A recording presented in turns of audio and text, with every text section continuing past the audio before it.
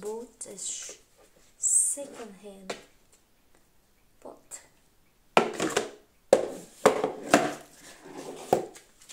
In hanging pots. And then today I went to the shop to buy flower primula